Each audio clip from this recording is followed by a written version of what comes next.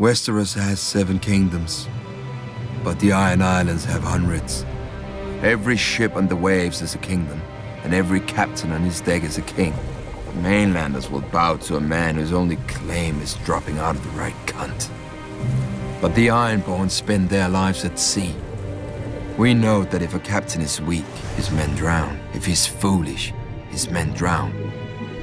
But if he's strong, his men carve their names into the world with blood, steel, and song. Any man with a ship may claim the Salt Throne, but the rest of the Ironborn have to give it to him in the Kingsmoot. Our priest claimed the first king of the Iron Islands was the Grey King, who ruled over the sea itself in the dawn of days. He took a mermaid to wife and stole fire from the storm god, and carved the first ship from a demon tree that fed on human flesh.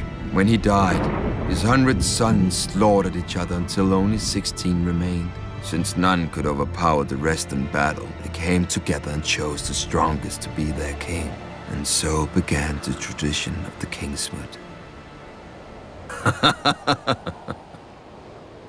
A good story for children who don't know that grey is what men become after their strength has fled, or that brothers do not easily submit. Over the centuries, the Kingsmoot has raised the greatest of the Ironborn. Qhored Hoare, whose word was law whenever men could smell the salt air or hear the crash of waves. He sacked Oldtown and defeated the River King, taking three young sons as hostages. When their father's tribute was late, Qhored cut out their hearts with his own hand. When the father marched for vengeance, Qhored smashed his army and gave this River King to the drowned god. Harwyn Hoare, born to a king who had a fleet he didn't sail and swords he didn't blood.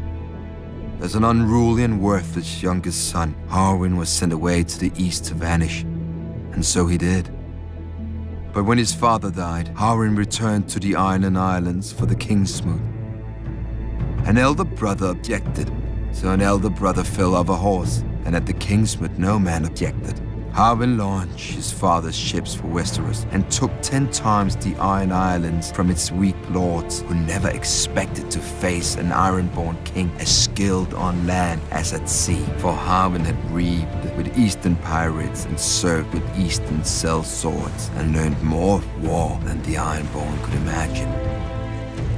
After Aegon and his dragons burned our last king, Harren the Black, and broke our armies, the defeated Ironborn chose my ancestor, Vickon Greyjoy, as Lord of the Iron Islands, not king. For centuries after, the Kingsmoot was a joke that the Ironborn didn't get. When a Lord Greyjoy died, the captains would meet and choose his eldest son to succeed him. Of course, they argued over it just long enough to show they weren't now like the very mainlanders they despised. Once more, we have a true king, my own brother Balon, who had the balls to seize the Driftwood crown, but not the brains to hold it. He is the first king the Iron Islands have had in centuries, and the fool would be the last. The Kingsmoot once chose him over me. They will not have that choice next time.